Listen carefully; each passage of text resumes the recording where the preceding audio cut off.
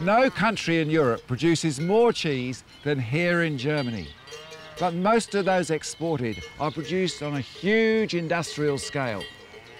Despite a history of more than 2,000 years, artisan cheeses have almost disappeared. So I've travelled here to learn more about some of those still made from raw milk.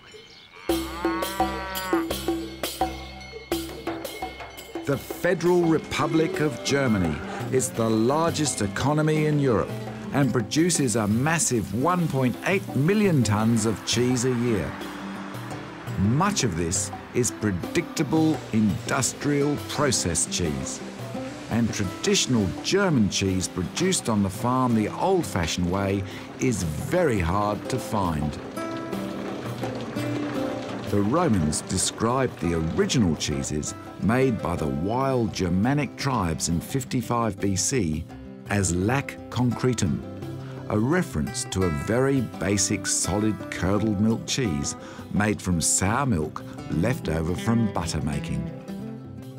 The introduction of rennet and more sophisticated cheese-making techniques over the following centuries led to a growing range of traditional hard and monastic washed rind cheeses.